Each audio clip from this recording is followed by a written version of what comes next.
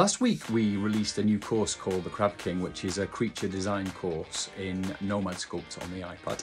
And one of the chapters from that, it's a bonus chapter at the end, is all about how we use Polycam to scan in real world environments or real world objects and get them into the iPad and, and being used in our Nomad scenes.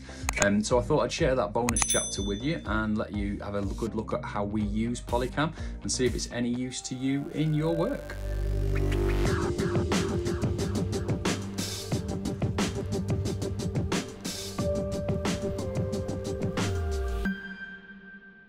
So having a, a cyc in the background um, may may be what you want, but you may want to do much more realistic backgrounds, and you can build them and you can model them, uh, you know, in lots and lots of different ways. But what about scanning them and bringing them in?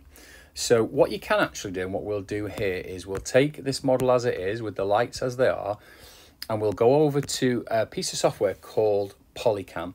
Um, I use this all the time. I use the free version, and basically with my iPhone, I can just hold it around um, a model and it will scan it in and bring it in for me and then export it directly out and in a format that then can be read by Nomad Sculpt. So let's go ahead and just quickly show you how that works on the iPhone. Um, you do it on your iPad or, or your iPhone, whichever works for you. And then we'll bring it in here and we'll put it into this scene. Okay, so presuming you've got Polycam installed, then basically you just go and do plus, which allows you to then start a new scene. And then if you've picked your scene, which we have here, we've walked down this, this alleyway here, we've found this little stairwell. Uh, all looks good because it turns the corner and goes down some steps. So we're really happy. And one good tip is to do it on a, a day when the sun's not too bright. So do it when it's overcast, which is what I'm doing here. And then all you simply do is start pointing it at the areas that you want to capture. So wherever it's blue, you can see that, that, that you know that that's what you want to capture. It's not yet captured. So find the blue areas and move around. Go above it, go below it, go around it. Make sure that all the areas are captured and there's no blue showing. In these steps, for example, you want to go all the way to the bottom of the steps and make sure that you know you're getting it right the way to the floor because you don't you don't know how far the scene's going to extend. When you've done that and you're happy and everything's covered, then you simply just move to the next stage, which is you turn off the camera and you just hit process. And what it does then is it starts calculating um, the, the individual images that you've captured as a, as a video and it will then convert that into a model and texture for you and then after a couple of minutes of that processing then it's going to be ready for export and at that point, all I do is I just use OBJ, the format OBJ, and that gives us all the files necessary to go straight into Nomad. So let's jump back to Nomad and see what we've got. So we're going to come over here. We're going to go to import, add to scene, which is important so we don't lose what we've already done. I just put it in my downloads, um, iCloud downloads, sorry, and then just go to wherever I've saved it and then just bring that, select all three of the, the files that are in there and just bring them in as one like so. And that basically brings in that little alleyway that I've scanned and it's actually giving you all of the texture there as well. So it's now simply just a case of scaling that to suit.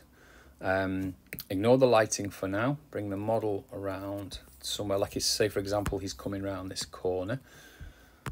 Just move it around as a single piece like something like that, maybe a bit bigger.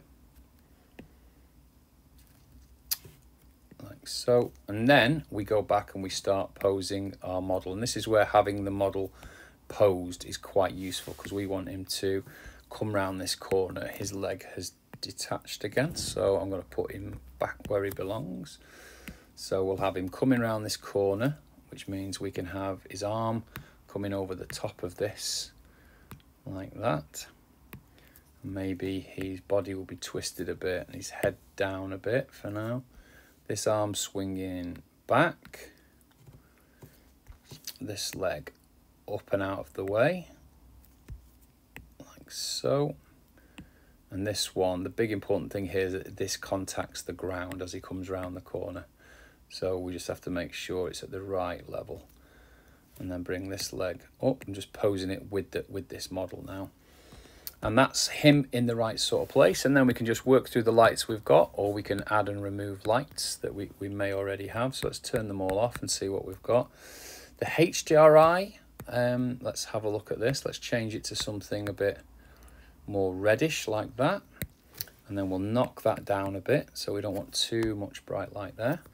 And let's just bring one light back and see what it does. So that's that key that that's that feature red light that we put in We've got this one that's like a major light here. So where do we want this coming now? So you've got to rethink it within this scene now. So do we want it from the front or do we want it coming down the side of it like it's coming behind him like that? Which casts a really nice shadow down there. So that does look good actually, doesn't it? So I think that that might be a, a good way to use that light. And then maybe just add in one more, turn that light back on and where we got this one pointing? So he's inside the wall. So we'll bring him out the front and round like that just to give us that as if like somebody's shining a torch up the stairwell at him. Something like that perhaps. And then adjust the cone angle and the position. There we go.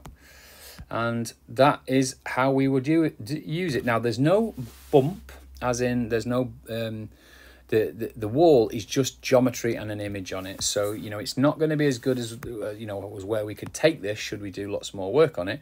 But it's more than good enough to do this kind of concept work. You know, it's a, it's a great piece of uh, creative trickery that allows us to start, you know, making, you know, really cool images like this with very very little effort. You know it's not taken much to scan that in and, and, and use it inside of nomad.